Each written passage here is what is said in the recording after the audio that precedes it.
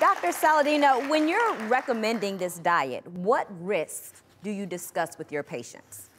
Oh my God, guys. I get this this video triggers me, so let's see where this goes. The backstory here. I was invited on the Doctor's TV show in 2019. I went on with my friends Sarah and Ashley Olson, who had significantly improved their lupus like symptoms with a strictly carnivore diet. I went to Los Angeles, I went on the show, and before the show, the producer comes in and says, Oh, do you mind if we have it be sort of a debate? Uh, okay, I'm fine with that, imagining that it's going to be a real debate where I get to talk and we actually discuss science. I gave the producers and the other doctors on the show a list of 22 references that I would be discussing in the debate. Little did I know it was not going to be a real debate. And right before the show, they said, Oh, do you mind if we add another doctor, uh, a vegan doctor? And I said, Fine, whatever. So it ended up being five or six doctors against me. It was five doctors plus a lawyer, as we'll see, against me. I don't think there are any risks to eating animal foods exclusively. There are no risks in terms of kidney function. Mm -hmm. There are many studies which show that high protein diets do not affect kidney function. Okay. There are no studies interventionally that show that eating meat is going to increase the risk of any single cancer.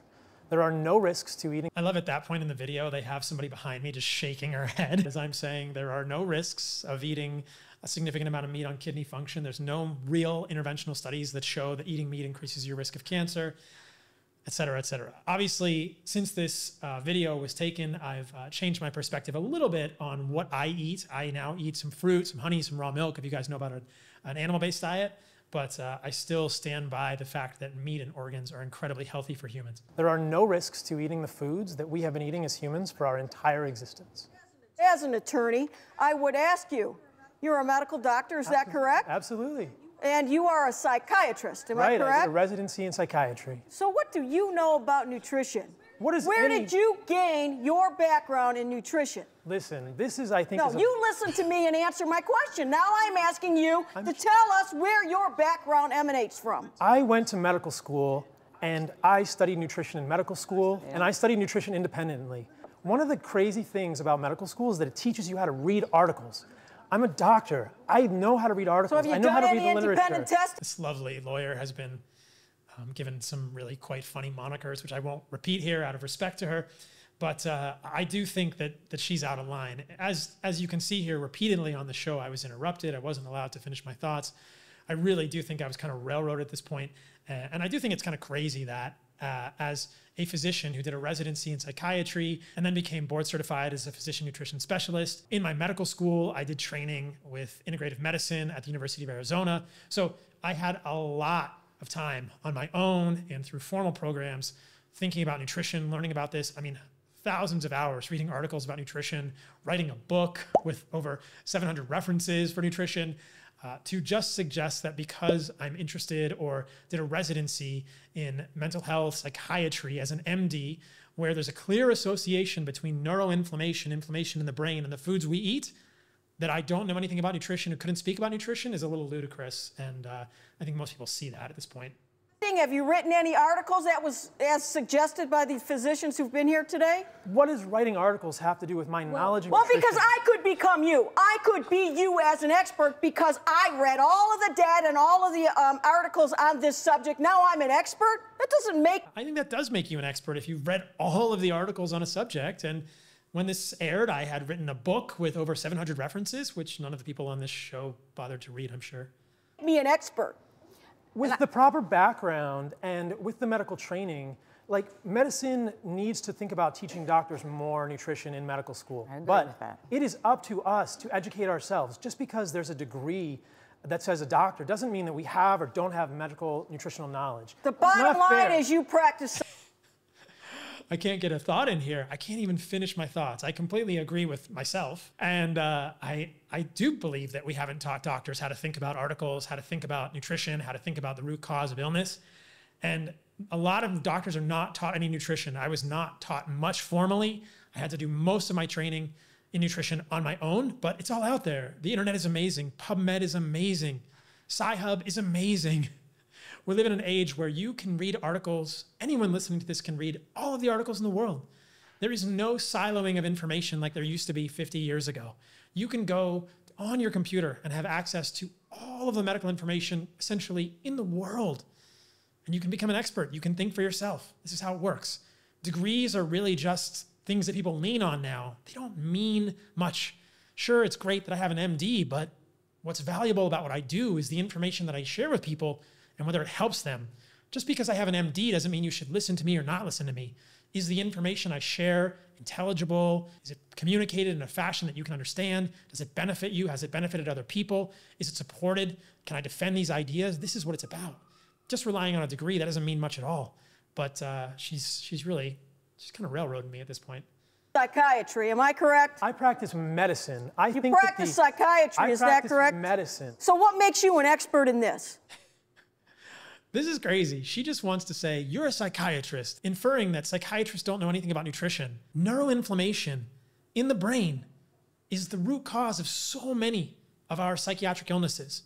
And that starts in the gut. That is intimately connected with the foods we eat. How can she possibly suggest that someone who's thinking about mental health or did a residency in psychiatry doesn't have the ability to think about nutrition, doesn't have the jurisdiction, if you will, in medicine to think about nutrition? This is ludicrous. Because an expert in what? She won that one, according to the audience. An expert in understanding human physiology? This is medicine. The separation of human into organ systems doesn't serve the patient.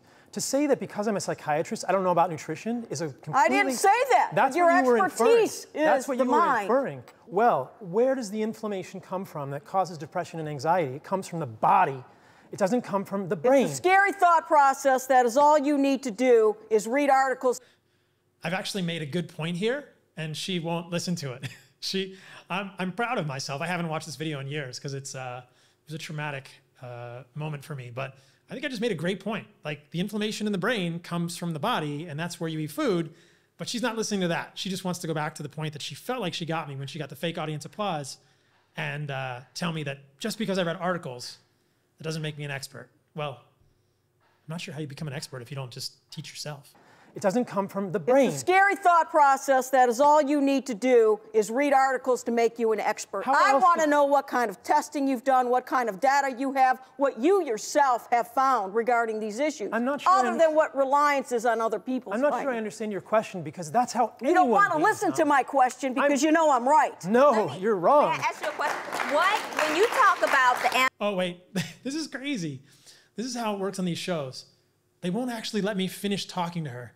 They're going to let somebody else jump in and hit me before I can actually defend my position. They totally set me up for this, these guys.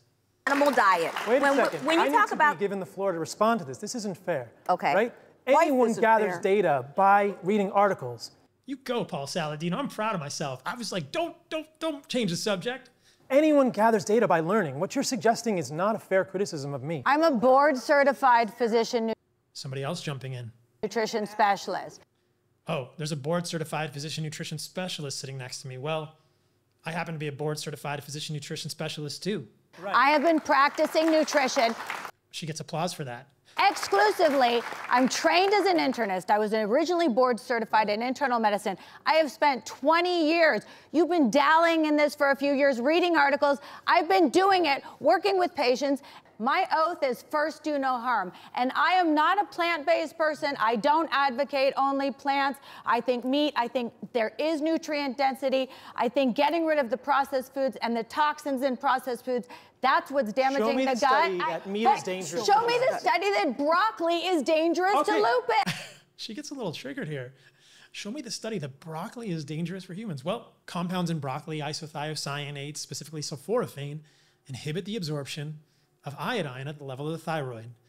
That's not a good thing for humans. We know that these compounds in plants are there as defense chemicals, but um, she, they won't let me get to this. And this, I paused the video right here. Her face says it all. Uh, and to be fair, let's just tell the whole story here, guys.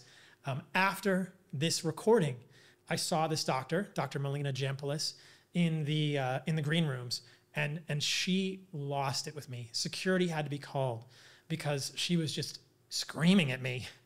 Uh, she was so triggered by what I was saying. This is what she said to me in the green rooms off camera. She said, she said, doctors like you, you come in, you're handsome, you get people to pay attention to you, and, and you're just, you're not right. And I said, well, I, don't know if that's a compliment or what, but uh, I think that we should have some discussion about this. And then she goes on to say, there's no vitamin K in meat and there's no vitamin C in meat. And I thought, what, what, about vitamin K2? What are you what are you talking about? And there's vitamin C in liver, there's vitamin C in spleen, there's vitamin C in muscle meat.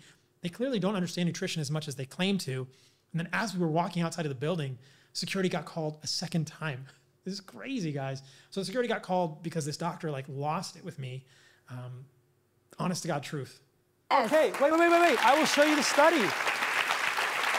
Can you please just Oh, they didn't even actually let me show the study. They, they're going to have the other doctor. This is how it works with five on one guys.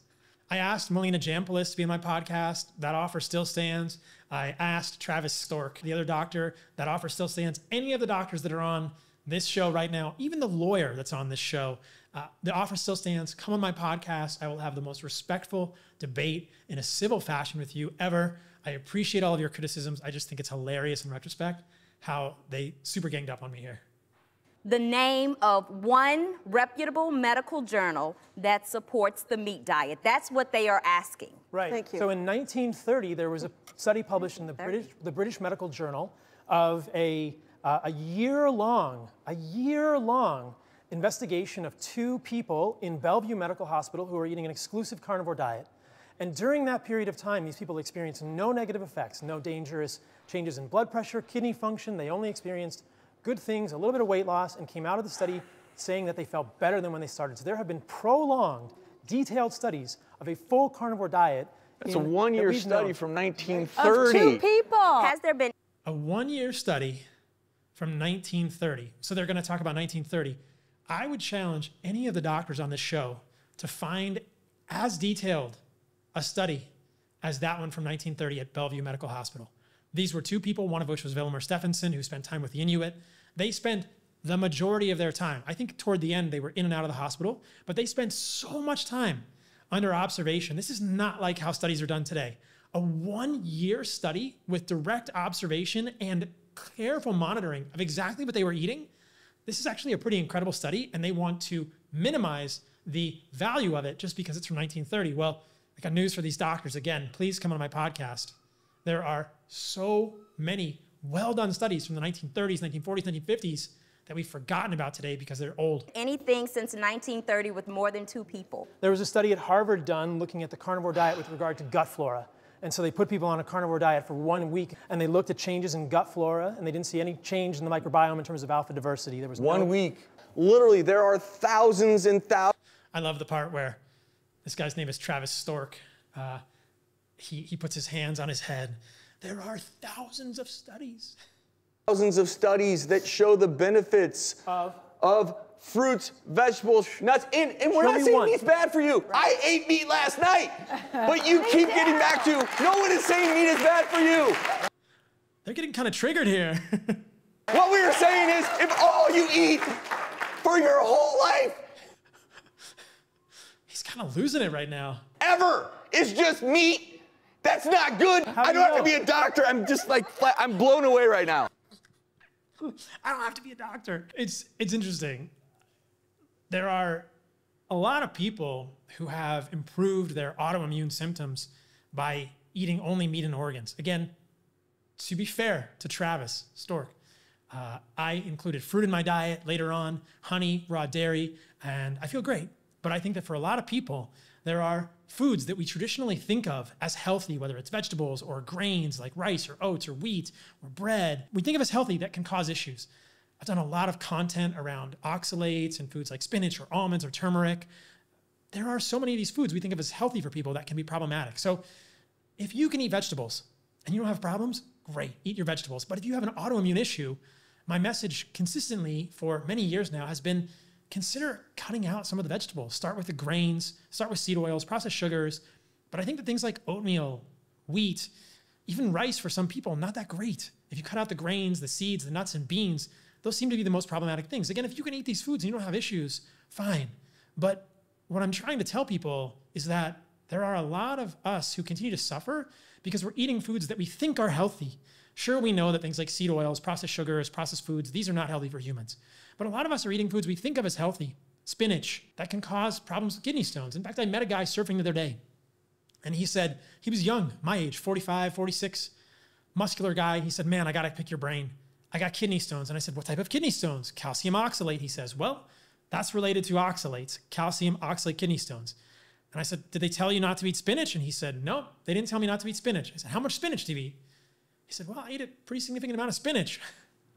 so this is the problem, guys. And at this point in the show, I think I was defending this idea that meat and organs are good for humans. And for some people like Ashley and Sarah, who are on the show with me, the removal of all other foods gives you a lot of clarity into what's causing issues and can be significantly helpful for autoimmune issues.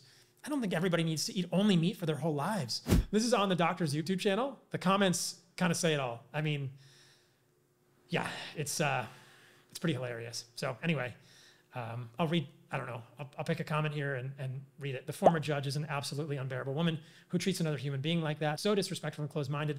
Also, reading all of the literature on a subject is exactly in caps how you become an expert. So, thanks to the Doctors TV show for having me on. Again, open invitation to all of them to come on my podcast. I think that the discussions are interesting and enlightening for everyone. And like I said, guys, when this happened, it was pretty traumatic for me. I wasn't expecting this at all. It was my first time on TV.